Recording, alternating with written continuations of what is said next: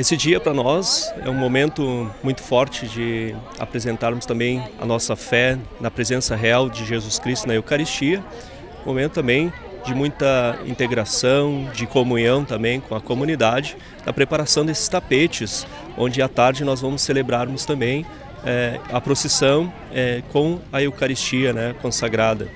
Então, um momento forte para a comunidade, de preparação, de união também, de comunhão. Né? Eucaristia também essa comunhão, é, Cristo Eucarístico que se divide para que toda a comunidade possa receber a graça né, da Eucaristia.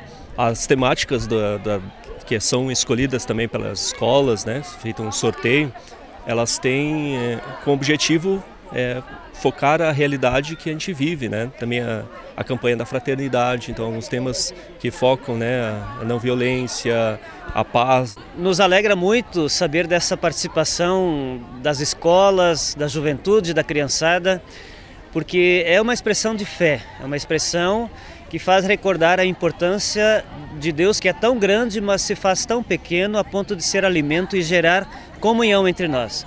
Esse dia maravilhoso colabora e certamente nós católicos nós nós queremos assim realmente abrir o coração, as portas para envolver todas as pessoas nesta comunhão tão desejada por Deus. Legal assim que a gente vê que quando tu convida os alunos, sempre tem pais né, que se integram, vêm junto.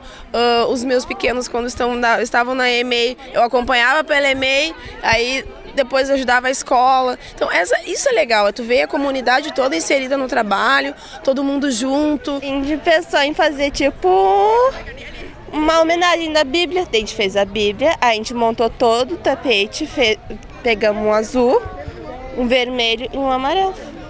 É a primeira vez que vocês participam aqui nessa Sim, atividade é Corpus Christi e foi legal de fazer? Muito legal, muito, muito legal. E vamos entrevistar aqui também, como é que é o teu nome? Roberta. E aí, Roberto, como é que é participar, vir num feriado, uh, não tendo aula, mas tem uma atividade aqui na praça? Tu achou bacana? Como é que foi a tua experiência? Eu achei, foi legal, a gente aprende, ter é, mais experiência e a gente ajudando fica legal também.